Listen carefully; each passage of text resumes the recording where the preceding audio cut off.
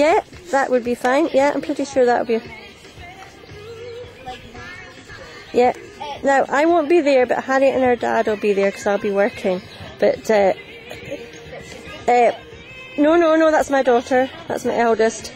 She's, yeah, she's, um, she's 18, but really the little one, she's 13 going on 14 in July. She's been riding it as well, and she actually gets a better tune out of her because she's quite quiet on the on the flat, whereas Harriet's a bit busy and kind of tries to dominate in that. But um, but anyway, you'll see Harriet ride her and she'll jump her. She's our jumping one and, and the other one's a flat one really, so they share them between them. So one does the flat work and one does the, the jumping.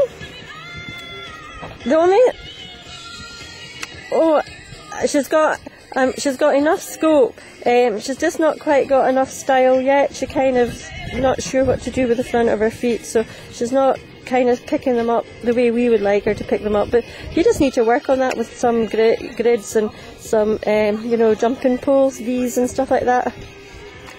Aye. Yes.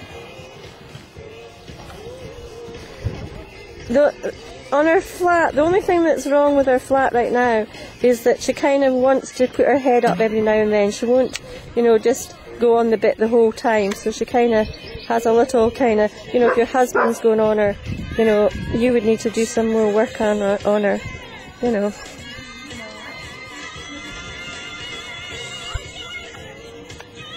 Uh huh.